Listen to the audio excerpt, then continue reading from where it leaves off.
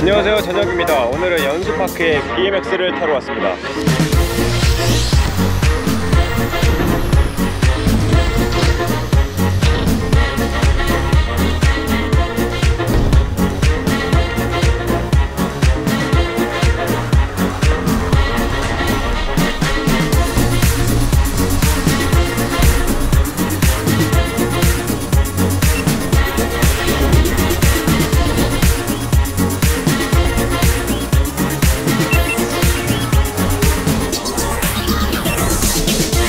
Thank you.